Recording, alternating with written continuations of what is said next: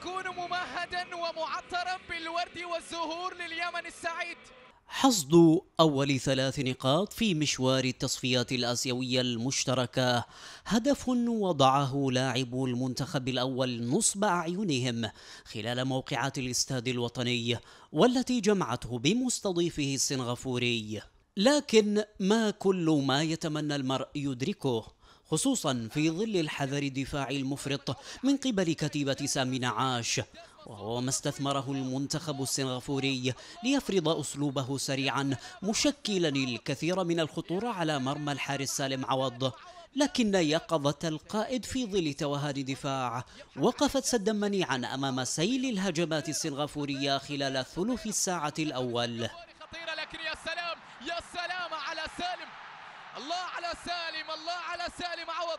ولأن كثر الضرب يوهن حتى الحديد فقد تلقت مرمانا هدف السبق السنغافوري برأسية المهاجم حسام فندي في الدقيقة السابعة والعشرين. اليمن السعيد لابد أن تكون سعيدة وحاضرة ورأسية لكن هدف كان بمثابة الضارة النافعة حيث تحرر المنتخب الوطني من الأدوار الدفاعية وأرسل السروري عرضية من الرواق الأيمن سيطر عليها عبد الواسع المطري ليطلقها قوية في الشباك السنغافورية مدركا للتعادل في الدقيقة الرابعة والثلاثين.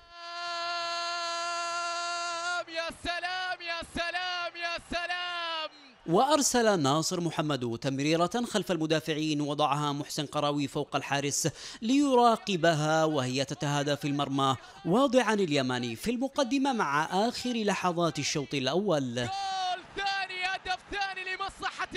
المنتخب اليمني وكما كان الحال في الشوط الأول ركن ممثل بلادنا مجددا إلى الأدوار الدفاعية مع بداية الحصة الثانية.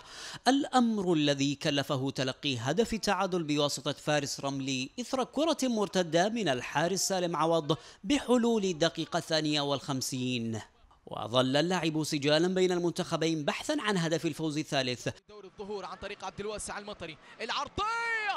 الله! على اللعبة الماضية. في حين استبسل عوض في التصدي لتصويبة فارس رملي القوية ليفرض نفسه نجما للقاء مبقيا النتيجة على تعادل الإيجابي بهدفين لمثلهما حتى أطلق الحكم الأسترالي الصافرة النهائية. بهذا التعادل أصبح في رصيد كلا المنتخبين نقطة في مستهل مشوار التصفيات الآسيوية المزدوجة على أمل تدعيمها بنقاط أخرى في الجولة الثانية التي ستقام الثلاثاء المقبل حيث تشد كتيبة الأحمر اليماني الرحال إلى العاصمة البحرينية المنامة لملاقاة نظيره السعودي.